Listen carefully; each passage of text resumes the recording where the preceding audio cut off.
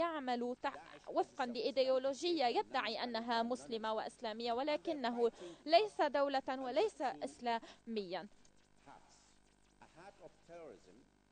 هناك الإرهاب وهناك الدولة المصغرة. إذا ما قتلنا تنظيم الدولة الإسلامية على أنه دولة مصغرة المسألة سهلة. ولكن عندما نقاتل تنظيم الدولة الإسلامية على أنه منظمة إرهابية تزداد المسألة صعوبة لأن هذا التنظيم ليس عراقيا وليس سوريا بل هو منظمة إرهابية عالمية. والتقنيات التي يستخدمها هذا التنظيم متقدمة من خلال استخدام الإنترنت ووسائل التواصل الاجتماعي والتكنولوجيا اليومية للتواصل ولتجنيد الإرهابيين من كل أنحاء العالم. كل هذه التكنولوجيا متطورة ومعقدة مثل ما اكتشفنا من المستندات والوثائق والأشخاص الذين ألقي القبض عليهم ومن خلال ما تم الكشف عنهم من معلومات. لسوء الحظ لم يبذل ما يكفي من جهود من أجل مكافحة تجنيد المقاتلين الأجانب الذين يعبرون عبر تركيا إلى العراق ولم يتم مكافحة تهريب النفط وغيره من التراث الذي تم تهريبه والإتجار به. ونأمل أن تبذل الدول ما يكفي من جهد من أجل منع كل ما يتم تهريبه وما يؤدي إلى مزيد من القتل في العراق وسوريا. بالتأكيد بدأنا عملية إصلاحات لأننا نخوض الحرب وفي الوقت عينه علينا أن نتحمل المسؤوليات في الداخل. هناك 16 من أصل 18 محافظة تعيش بالسلام ومن دون حرب يتوقع الأشخاص فيها الرفاه الاجتماعي يتوقعون الخدمات الحصول على الخدمات يتوقعون بنى تحتية ويتوقعون وظائف وعلينا أن نلبي الاحتياجات. وذلك كله في سياق نشهد فيه المشكلة المالية حيث انهارت أسعار النفط ولم تنخفض فحسب. لم يفهم الجميع لماذا ولكن ينبغي أن نحذر. انهيار الأسعار قد يؤدي إلى انهيارات أخرى فهو انهيار قوي آه، وتداعياته كبيرة على دول منتجة للنفط وال نتيجة نتيجة مثل انهيار حجيرات الدومينو. إذا ما سقطت أو انهارت دولة ستنهار الأخرى وبالتالي فإن التداعيات ستتضاعف على الاقتصادات الأخرى وعلى الأنشطة الاقتصادية الأخرى في العالم. علينا أن نعتمد الإصلاحات. لقد بدأنا الإصلاح الأول في القوات المسلحة منذ سنة ونصف. أول ما فعلته عندما وصلت إلى منصبي هو إعادة هيكلة القوات المسلحة وقد فعلنا ذلك. وبعد أشهر من ذلك انعكس هذا انعكست إعادة الهيكلة هذه في الميدان. لقد ضيقنا الخناق على الفاسدين وبات الجيش أكثر فعالية. ومستعدا للدفاع عن بلده. وقد برهنا عن النجاح. بات الآن الجيش عنده ثقة بقدراته. وبعد أن حررنا الرمادي.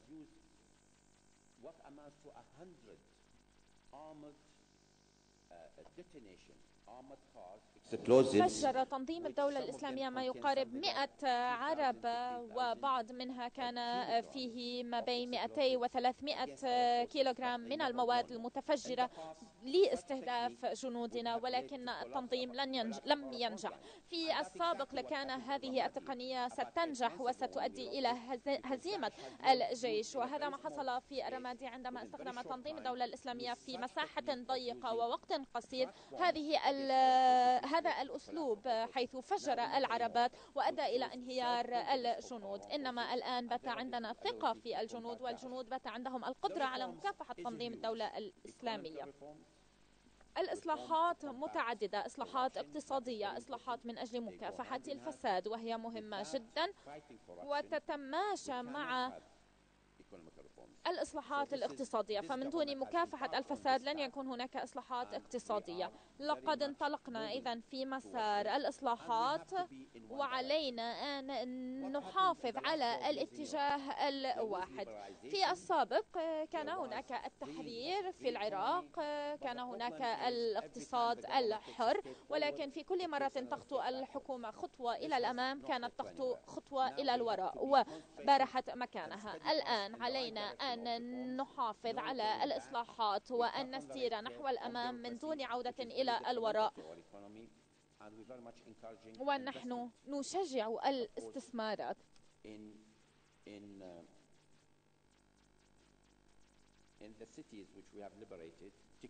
في المدن التي حررناها تكريت. تشكل مثالا حيث 90% من السكان عادوا إلى تكريت. كان هؤلاء يعيشون في المخيمات وكانوا من النازحين داخليا الآن عادوا إلى تكريت. معظم الأشخاص يريدون العودة إلى منازلهم. ونحن نسعى إلى إعادة أعمار المناطق. إنما إعادة الأعمار تتطلب وقتا طويلا ومبالغ كبيرة. وبالتالي لجأنا إلى أمر آخر أسهل هو إعادة الاستقرار. وذلك هو أنه ينبغي توفير عناصر رئيسية للمواطنين لكي يعودوا. ينبغي أن تكون الطرقات آمنة وخالية من أي مواد متفجرة وينبغي أن يكون هناك البنى التحتية من طرقات ومستشفيات ومدارس. هذا يتطلب موارد أقل ونحن نعمل على ذلك. ليس فقط في تكريت بل أيضا في صلاح الدين حيث عاد السكان. والآن في الأنبار بما يتوفر لنا من موارد محدودة نحن نعمل على إصلاح ما قد دمره تنظيم الدولة الإسلامية. وذلك للسماح للمواطنين بالعودة. نحن نوفر الخدمات الأساسية والرئيسية. الأشخاص مستعدون للعودة إلى منازلهم وسوف يعملون هم على إعادة إعمارها وبنائها إذا ما توفرت الخدمات الرئيسية. هذا أمر أساسي علينا أن نعمل مع أوروبا فيه. وفي أوروبا هناك الآن أزمة المهاجرين واللاجئين فالأعداد هائلة. وأوروبا وأنا أعرف كثير أن كثيرين من السياسيين يعانون الكثيرون يريدون القومية أن تواجه الهجرة. وربما البعض يفوزون في الانتخابات التالية في أوروبا. ولكن هذا ما لا نريده لأن ذلك ينصب في مصلحة تنظيم الدولة الإسلامية. تنظيم الدولة الإسلامية يريد أن يحصل تضارب أو تصادم الحضارات بين أوروبا وبين التنظيم وذلك لكي يزداد عدد الشباب الأبرياء الذين ينضمون إلى تنظيم الدولة الإسلامية. نحن نريد أن نعالج المشكلة من جذورها نريد أن يعود العراقيون إلى مدنهم كي لا يكونوا مهاجرين في الخارج. موضوع آخر ناقشناه مع المستشارة الألمانية هنا في برلين. هو المجموعات الإجرامية التي تهرب البشر وتتاجر بالبشر ولا تكافحهم الدول الأوروبية أو العالم بشكل مشترك بل تسعى كل دولة إلى مكافحتها بطريقة فردية. هذه العصابات تدمر العائلات وتجبر وتلزم العائلات على بيع ما لديها من أغراض قيمة وتعدها بالعيش في جنة في أماكن لا توجد فيها جنة. وأعتقد أنه علينا أن نضع حدا لهذه المشكلة. نحن مستعدين وجاهزين لتحقيق التقدم في هذا الإطار.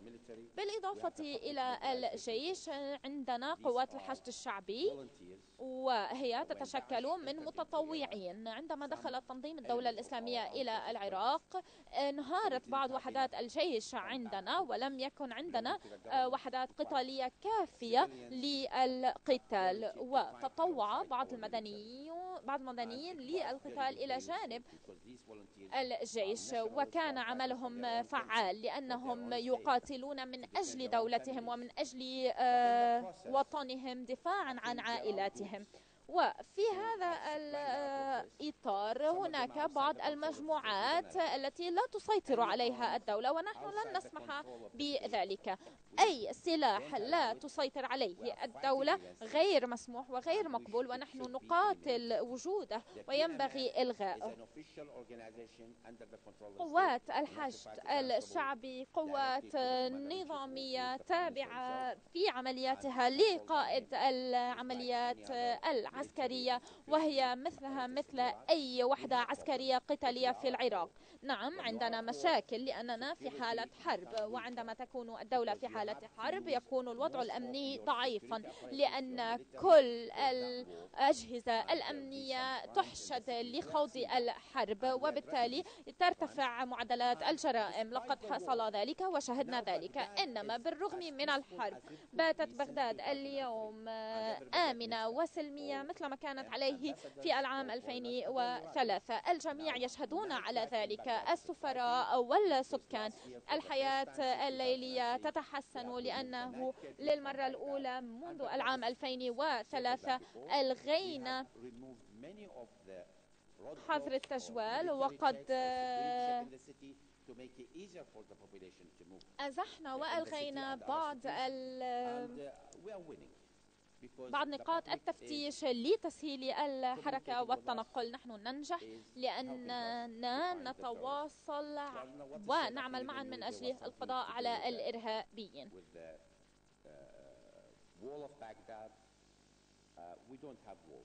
نحن في بغداد ليس عندنا جدران بغداد كبيرة هي عاصمة تضم 23% من سكان البلد. ونحن نعرف أننا في تقدمنا ضد تنظيم الدولة الإسلامية. سوف يحاول تنظيم الدولة الإسلامية مجددا اللجوء إلى الإرهاب وإلى القصف وإلى التفجير من أجل القتل ومن أجل الاعتداء على المدنيين. علينا أن نحمي شعب بغداد وذلك من خلال نقاط التفتيش ومن خلال جمع المعلومات الاستخباراتية معظم السيارات المتفجرة أو المفخخة بنسبة 95% تأتينا من خارج بغداد. ما فعلناه هو أننا نحاول أن نسيطر أو نضبط الدخول حركة الدخول والخروج من وإلى بغداد وقد وضعنا أجهزة تسمح بمراقبة تدفق الإرهابيين والسيارات المفخخة إلى المدينة. وذلك في الواقع سوف يسهل على السكان الدخول والخروج من وإلى بغداد. هذه هي نيتنا وهذا مسعانا. المصالحة أساسية بالتأكيد. وهي ركيزة رئيسية في إدارتي نعمل عليها ونحن نركز على المصالحة الداخلية. في الماضي كان العالم يتحدثون عن المصالحة الخارجية مع عناصر خارج البلد. الآن لم يعد عندنا معارضين من خارج البلد. هناك معارضين داخل الحكومة وأنا مسرور بوجودهم وأنا أدعو إلى إعادة تشكيل أو إعادة هيكلة في الحكومة لأن ذلك سوف يجعل من الحكومة أكثر فعالية. فنحن نواجه مشكلة اقتصادية كبيرة تقضي هذه المشكلة بأن يكون عندي فريق يعمل بالتعاون بدل أن يعمل كل على حدة. ينبغي أن يكون الفريق فريقا متماسكا يعرف ما هي المشكلة ويعمل مع رئيس الوزراء على حل المشكلة. فلا يمكنني أن أعمل على حلها بمفردي. الإرهاب قاس وهو مشكلة عالمية. ينبغي أن نتحد من أجل مواجهة الإرهاب. يجب أن نقضي على الإرهابيين. وآمل أننا سنحرر العراق النينوى في العراق هذا العام. أعدكم بذلك. هذه المحافظة الأخيرة التي يسيطر عليها تنظيم الدولة الإسلامية. ولكن ماذا بعد ذلك؟ إلى أين سيذهب تنظيم الدولة الإسلامية؟ إلى أين ماذا يحصل في سوريا؟ سررت بالاتفاق حول وقف إطلاق النار في سوريا والذي يتوقع أن يدخل حيز تنفيذ الأسبوع القادم. ينبغي أن نسعى إلى إنجاح هذا الوقف لإطلاق النار لأنه لا يمكن للوضع في سوريا أن يستمر على ما هو عليه. في خلال خمس سنوات حصل دمار كثير وهناك الكثير من المنظمات في سوريا.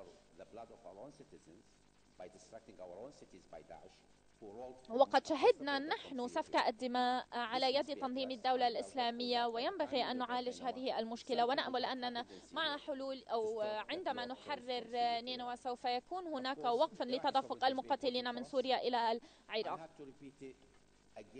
ينبغي أن أكرر ما ينبغي ألا يسمح لأي مقاتلين أجانب أن يتواجدوا في العراق وكل الحلفاء في التحالف عندهم الصلاحية بتدريب القوات العراقية وتوفير الأسلحة أو تزويد الأسلحة وهي موجودة من أجل توفير المساعدة لحماية الجنود. ولكن ليس عندنا جنود مقاتلين.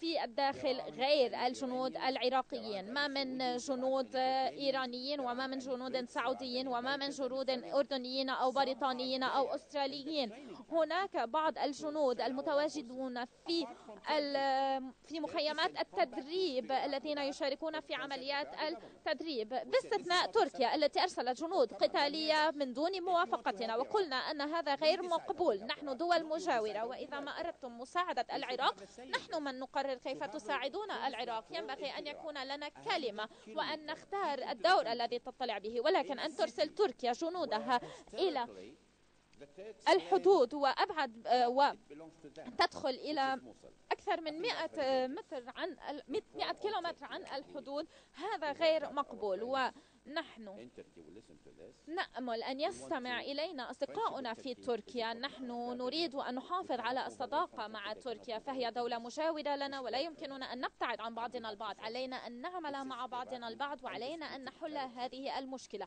هذه أراض عراقية ولا ينبغي أن تبقى القوات التركية من دون موافقتنا. ونحن لا نريد أن تبقى هذه الجنود. فهي تعزز من المشاكل بدل أن تحلها. نحن بالتأكيد نرحب بمساعدة تركيا ولكن بطريقة مختلفة. نحن آه، نقدر كل الصداقات مع الدول المجاورة والدول في العالم. الدعم الدولي كان كبيرا والدعم الإقليمي آه، كبير ومهم. وعلينا أن نعمل في إطار المنطقة من أجل مكافحة الإرهاب. شكرا جزيلا.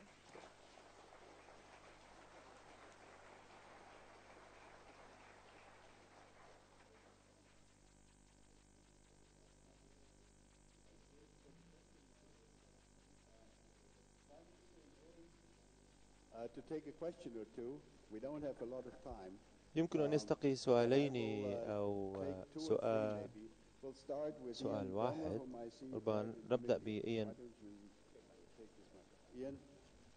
إيان Human Rights Watch.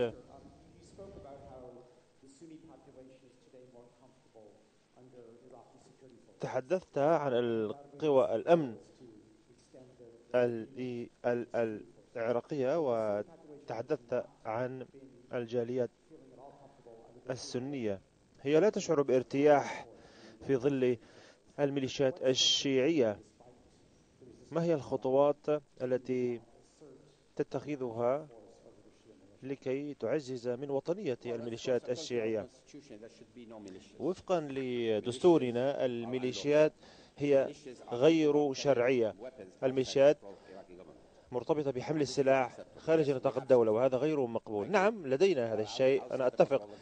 وهم خارج نطاق الحكومة. نحن لدينا مشاكل مع هذه الميليشيات. نحاول أن نصفيهم نحاول أن نضبطهم في قوة تحت جناح الحكومة. لقد خسرنا أراض آه، وسيطرت عليها داعش. كانوا على تخوم بغداد وابتعدوا بعد ذلك.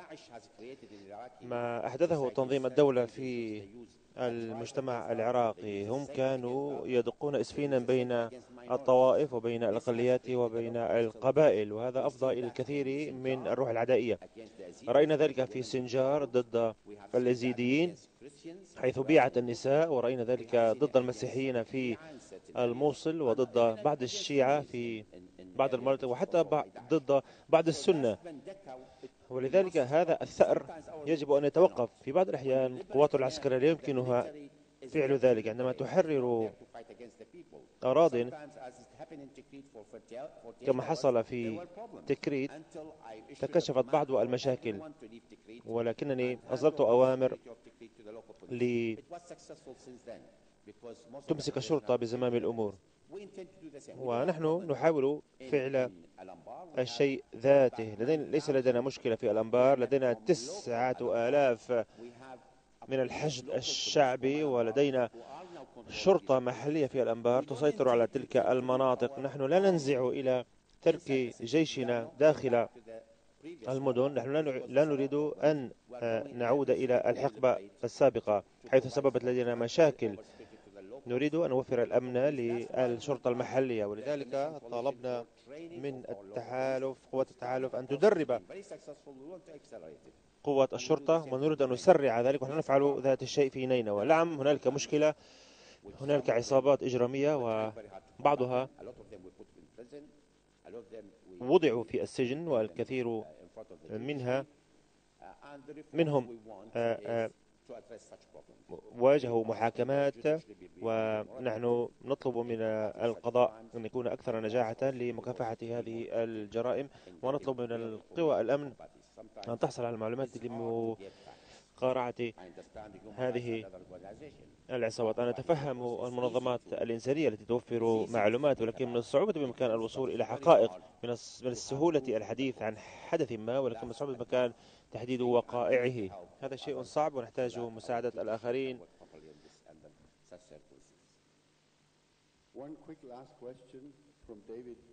سؤال أخير من السيد ديفيد إغنيشيس سؤال مقتضب لو سمحت. ديفيد إغنيشيس من الواشنطن بوست. قلت وعلى اللافت أنك تؤمن أن قوى الأمن العراقية يمكنها أن تسترد الموصل هذه السنة. ولكن يبقى السؤال كيف ستستطيعون أن تمسكوا بزمام أمور الموصل؟ كنس روث أجبت على سؤاله وتحدثت عن الشرطة وتحدثت عن الشرطة السنية. ولكن البرلمان هل يتعين عليه تمرير تشريع يسمح بتأسيس الحرس الوطني؟ لأن بغداد ربما لن يسمح لن تسمح بذلك. إذن كيف يمكنك أن تذلل هذه العقبة وتسمح السنة في الموصل والأنبار بحكم نفسهم؟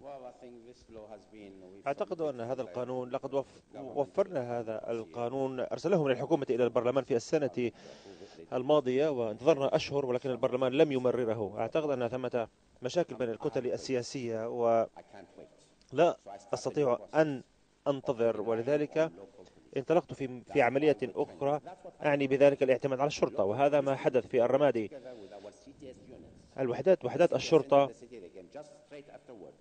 هي أمسكت بزمام الأمور بعد تحريرها من قبل الجيش وبعد انسحاب الجيش وفرت هذه المناطق للشرطة المحلية لأننا استطعنا أن ندرب بعض وحدات الشرطة وهي قادرة على الإمساك بزمام الأمور. هذا هو الحل الآن. وهذه وهؤلاء هم أشخاص محليون. وهذا هو البديل لأن التشريع تعثر ولا أستطيع انتظار ما سيقرره البرلمان. وبالتالي حاولت أن أتبع ربما مسارا فرعيا آخر. شكرا لكم.